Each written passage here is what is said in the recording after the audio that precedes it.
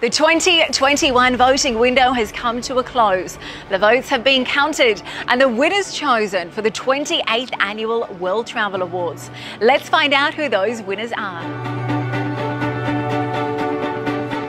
And the winner is.